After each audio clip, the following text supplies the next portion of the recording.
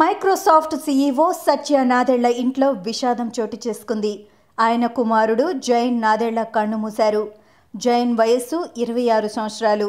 జైన్ పుట్టకతోనే కండరాలకు సంబంధించిన వ్యాధి cerebral palsy వ్యాధితో బాధపడుతున్నారు. అమెరికా కాలమానం ప్రకారం సోమవారం ఉదయం జైన్ ఆరోగ్యం విషమించడంతో అతడు మృతి చెందారు. ఈ విషయాన్ని మైక్రోసాఫ్ట్ సంస్థ తన ఎగ్జిక్యూటివ్ సిబ్బందికి ఈమెయిల్ ద్వారా వెల్లడిస్తూ జైన్ మృతికి సంతాపం ప్రకటించింది. నాదెళ్ళ కుటుంబం కోసం ప్రార్థించాలని వారికి ఏకాంతాన్ని ఇవ్వాలని ఈ సందర్భంగా మైక్రోసాఫ్ట్ కోరింది. సత్య నాదెళ్ళ అను దంపతులకు పంతొమ్మిది వందల తొంభై ఆరులో జైన్ జన్మించారు. అతడు సెరిబ్రల్ పాలసీ లక్షణాలతో పుట్టినట్లు అప్పుడే వైద్యులు గుర్తించారు. దీంతో అతడు వీల్ చైర్కే పరిమితమయ్యారు. సెరెబ్రల్ పాలసీతో బాధపడే వారిలో పుట్టకతోనే మెదడు దెబ్బతిని ఉంటుంది. ఆ క్రమంలో బ్రెయిన్కు కాళ్ళు చేతులపై కంట్రోల్ ఉండదు.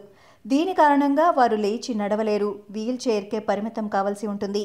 దీంతో సత్యనాదెళ్ళ ఫ్యామిలీ బాగా కుంగిపోయింది. ఆ బాధను దిగమింగుకోవడానికి తన కుమారుడు లాంటి వారి కోసం వినూత్న పరికరాలపై సత్యనాదెళ్ళ దృష్టి సారించారు.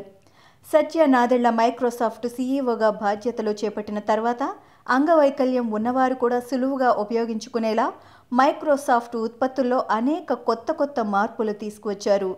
సత్యనాథేళ్ళకు ఇద్దరు కుమార్తెలు ఉన్నారు. పంతొమ్మిది వందల అరవై రెండు బ్యాచ్ ఐఏఎస్ అధికారి బుక్కాపురం నాదెళ్ళ యుగంధర్ కుమారుడే సత్యనాదెళ్ళ ఆయన స్వస్థలం ఆంధ్రప్రదేశ్లోని అనంతపురం జిల్లా. సత్యనాదెళ్ళ తల్లి ప్రభావతి సంస్కృత లెక్చరర్. అయితే సత్యనాదెళ్ళ హైదరాబాద్లోనే పాఠశాల విద్య పూర్తి చేసుకున్నారు. అనంతరం కర్ణాటకలో మణిపాల్ ఇన్స్టిట్యూట్ ఆఫ్ టెక్నాలజీ నుంచి బ్యాచులర్ ఆఫ్ ఎలక్ట్రికల్ ఇంజనీరింగ్ చేశారు. ఆ తర్వాత ఎంఎస్ కోసం సత్యనాదెళ్ళ అమెరికా వెళ్ళి అక్కడే స్థిరపడ్డారు. తన తండ్రి యుగంధర్ సన్నిహితుడు తోటి ఐఏఎస్ అధికారి కుమార్తె అనుపమను సత్యానాథేళ్ళ వివాహం చేసుకున్నారు. ఇలాంటి మరిన్ని వీడియోలు కావాలనుకుంటున్నారా? అయితే సబ్స్క్రైబ్ చేసి పక్కనే ఉన్న బెల్ సింబల్ను క్లిక్ చేయండి.